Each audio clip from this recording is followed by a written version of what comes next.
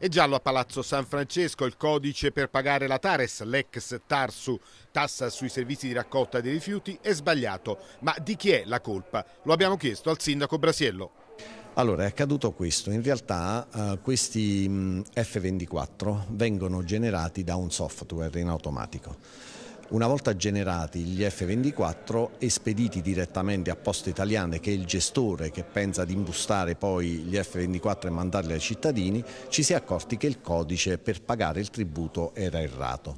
In realtà il personale del comune non se ne sarebbe potuto accorgere perché il codice stesso viene generato da un programma Alley che non consente ai dipendenti comunali di vedere a video l'F24, per cui non sono stati in grado di leggere il codice un codice meccanografico che viene generato dal programma Alley viene trasferito direttamente a Poste Italiane. Questo è stato il motivo del codice errato. Ovviamente io colgo l'occasione anche per dire questo, che in realtà non ci sono stati pagamenti che poi devono essere rimborsati, perché essendo il codice sbagliato eh, l'ufficio eh, esattore non poteva prendere il pagamento per cui mi scuso con i cittadini di questo disguito, abbiamo ovviamente già provveduto ad informare le banche e poste italiane dell'errato, dell codice e loro in automatico adesso l'hanno cambiato, per cui è tornato tutto normale.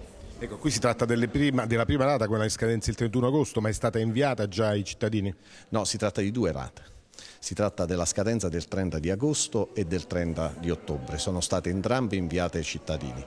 Adesso però ci sarà la terza rata che invieremo eh, tra qualche giorno che scadrà il 31 dicembre e che sarà la famosa rata a conguaglio perché lì ancora non siamo eh, in grado di sapere qual è il conguaglio per ogni cittadino in quanto i dati provenienti dal governo ancora non arrivano perché questa è una tassa, questo lo voglio spiegare, che va a sostituire la Tarsu.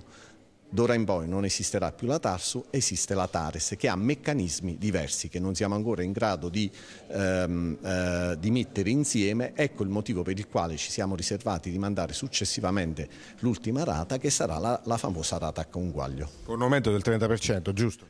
L'aumento ci sarà. L'aumento ci sarà necessariamente ci sarà perché i criteri con i quali eh, è stata individuata questa nuova tassa sono diversi dalla tassa e quindi ci sarà sicuramente un aumento. Certamente eh, qui ad Isernia credo che l'aumento sarà molto molto come dire blando anche perché Isernia è una delle città in Italia dove queste eh, tasse sono molto molto basse.